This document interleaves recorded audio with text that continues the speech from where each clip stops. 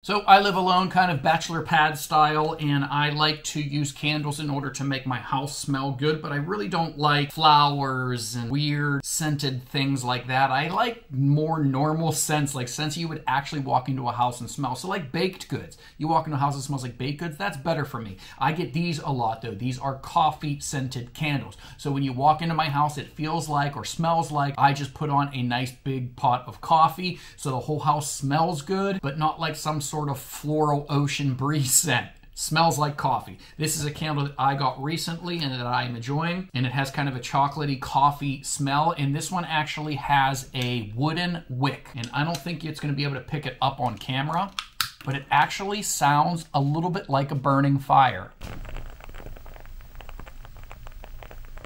I'm sure you probably can't hear that on this little microphone, but it really does sound a little bit like a crackling fire. So one, you're going to get this smell of coffee in your house, which is wonderful. Two, it actually looks nice. It's kind of a really nice looking manly candle. And I wasn't sold on the wooden wicks until I started using them. And now I realize that they burn just as well as a cloth wick, maybe even better. And that it does have sort of a little bit of a sound in the background like you're actually sitting beside a little tiny fire, which which is pretty cool. So if you are in the market for a new candle, this is one that I have bought and that I am enjoying and that I would definitely recommend.